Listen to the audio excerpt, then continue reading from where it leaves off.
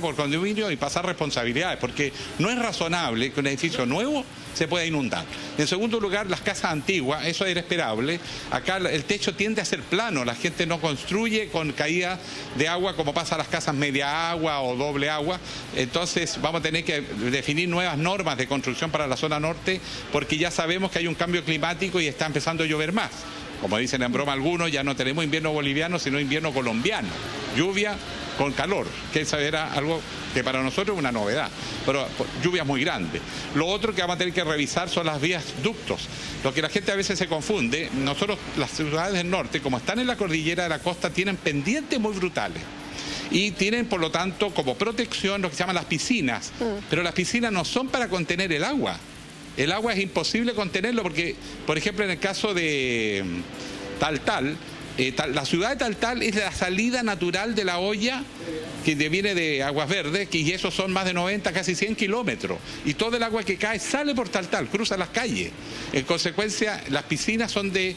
Eh, precipitación, o sea, la idea es que se vaya al fondo de las piscinas las piedras, los palos, las máquinas, las herramientas que van arrastrando en el camino, de manera que solo pase el agua y esa agua se conduce por las calles para que vaya al mar. No es posible retener el agua. Pero entonces para lo que, que, la hay... gente sepa, entonces es normal que pase el agua. Entonces lo que hay, senador, es aún más grave que solo la construcción o que el que no haya suficientes eh, pertrechos para enfrentar una situación tan difícil como la que se está viviendo y como ha dicho la, la alcaldesa Rojo, hay un problema de planificación urbana también. Bueno, eh, de hecho, todo quedó insuficiente, pero en el caso de Antofagasta, si tú comparas la región de Antofagasta con Atacama, son dos mundos distintos. Nosotros tuvimos la experiencia del año 91, que murieron muchas personas, claro, una cifra que prefiero ni recordar, quedaron desaparecidas poblaciones enteras, con bajo 2, 3, 4 metros de barro. Eh, esta vez no pasó gracias a las obras de mitigación que se han hecho de contención del agua, porque cuando hay una temporal se pone bravo, las piscinas en la medida que van siendo desbordadas nos dan una señal de gravedad y comienzan de inmediato los servicios de urgencia, los bomberos que se han portado un 7, las policías, investigaciones, todas trabajando, ellos pueden ir bloqueando las calles y, conduciendo el agua por lo que se llama las vías aluvionales y esas van a dar al mar. Eso ha operado bien, pero hay parte de la ciudad que todavía no tienen esas obras de contención, ahí tenemos que eh, arreglar el trabajo. Pero les quiero explicar una situación que les va a describir ahora el otro problema que dice la alcaldesa. Cuando llegue el general y toma el mando, dice, perfecto, ¿cuáles son los eh, lugares de peligro que ustedes han detectado? Y ahí ya había cierta incoherencia. ¿Cuántas personas habría que movilizar, sacar de sus casas? 30.000 le dicen. Eh, ¿Y a dónde las llevamos? Y había cuatro colegios habilitados, no había más, estaban todos inundados. O sea, no había nada que hacer. Sin embargo, bueno, se manejó con criterio la situación y se pudo superar porque además tuvimos la suerte que paró la lluvia. Pero de verdad no estamos preparados para esta magnitud. Las obras de infraestructura se han hecho, pero yo creo que podemos mejorar el funcionamiento tanto del municipio como de los eh, distintos eh, servicios públicos para tener unos mejores planes y bitácoras de actuación y de cuáles son los protocolos para enfrentar la crisis. Sí, yo ya voy a entrar a eso, a una evaluación eh, tuya respecto a el centralismo que ha denunciado muchos parlamentarios, alcaldes, en fin, respecto a esta gestión de emergencia. Pero antes quería que me enmarcaras, en la región de Antofagasta, eh, tú algo nos hablabas, bueno, Antofagasta, ¿cuántas casas están afectadas de un porcentaje? ¿Cuánto de la ciudad puede estar afectado? ¿Y cuáles son los lugares de, donde está la situación más caótica en esa región? Bueno, las casas se llevaron casi todas. Eh, yo les contaba que hasta Enjoy, que es un edificio súper moderno de lujo, se llovió. Así que ahí yo creo que hay déficit de construcción. Condominios relativamente nuevos se llovieron. Pero las, casas antiguas, la mayoría sufre problemas, pero de distinta gravedad. Mm. Obviamente los problemas principales están en la parte alta de la ciudad y en el barrio norte, que es más popular, hay menos infraestructura y el agua se llevó los pavimentos, o sea, tenemos una ciudad que tiene un pavimento destruido. Además tenemos el problema de las pendientes eh, casas que se han construido muy arriba en los cerros y ahí el barro arrasa, eh, casas que han quedado bajo medio metro, un metro de, barro, porque va cayendo hacia abajo, entonces la parte plana de la ciudad también sufre daño. Pero fundamentalmente, como suele ocurrir en los campamentos, que, mm, y un solo dato de los damnificados, ya les contaba, el 80% son extranjeros, eh, y que son también los campamentos que se han ido formando en el último tiempo. Y por otro lado, en el barrio norte, que es más popular y que tiene menos calidad de infraestructura, en la parte de los cerros, porque el borde costero de Antofagasta es bastante moderno, pero todo cae hacia el borde costero y no tiene evacuación, o sea, se empoza, pero no sale al mar.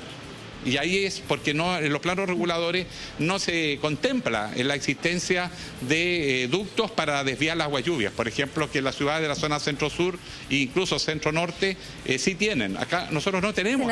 Por lo tanto, hay que hacer materias legislativas de estándares de construcción más exigentes y obras de infraestructura más adecuadas a una realidad. El clima cambió en el norte. Senador, te referías tú a la situación de los eh, extranjeros que viven en un número bien importante en Antofagasta. ¿Están recibiendo ellos la misma ayuda que, eh, que los chilenos?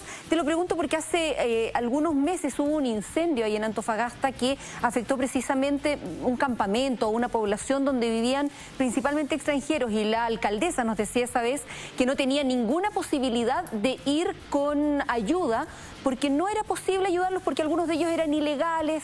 ¿Ahora ha sido distinta la situación? Bueno, evidentemente que hay un tema humanitario también a considerar, pero los campamentos son por su naturaleza irregulares, están ocupando sitios que no les corresponde, por lo tanto tú no les puedes como autoridad estar avalando, dándoles ayuda. Eso hay una cosa media enredada administrativo-legal ahí, pero lo humanitario te obliga a atenderlos. Eh, pero también hay una queja de la población, entre comillas, chilena, que dice, mire, se ayuda a los campamentos, pero nosotros, la clase media emergente, que con esfuerzo se levanta su casita y la compra y se le llueve entera, se inunda y nadie lo ayuda porque no hay mecanismos para ayudar a la clase media emergente. Las, políticas públicas en general favorecen a los grupos que tienen ficha de protección social. O, incluso por razón humanitaria a los más vulnerables, que acaben los extranjeros. Pero esa clase media antofagastina, que tiene esfuerzo, que sale adelante, se queda sin nada. Y esas son las personas que vamos a tener que incluir en un plan de reparación de vivienda, sin ninguna duda. Alejandro, eh, quería preguntar por la visión que tienes respecto a cómo se fue gestionando la ayuda, la reacción ante esta emergencia. He escuchado voces críticas de varios alcaldes, de parlamentarios que sienten que no recibieron toda la información o que no estuvo presente eh, la autoridad más rápido y que incluso eh, señalaban todo había que gestionarse a Santiago, lo que es una complicación cuando hay caminos cortados, no estaban los aeropuertos, en fin. Quiero tu evaluación, pero espéranos un poquito, tenemos que hacer una pausa nuevamente y ya volvemos con la conversación.